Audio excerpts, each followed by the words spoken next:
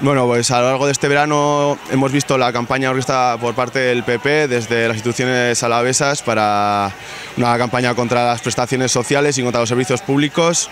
Eh, Maroto atacó con sus declaraciones a ciertos colectivos de inmigrantes, les acusó no ya de defraudar, sino de cobrar prestaciones sociales que si las cobran sea porque cumplen los requisitos y porque las necesitan.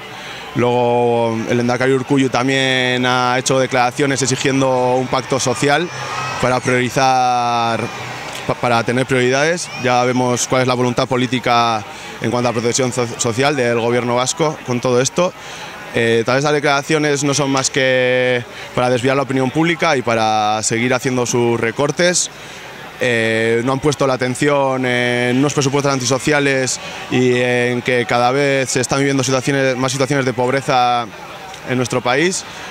Eh, y bueno, desde aquí exigimos que se garanticen los derechos a todas las personas y que el sistema de protección social tiene que ser aumentarlo en vez de recortarlo ¿no? en estas situaciones.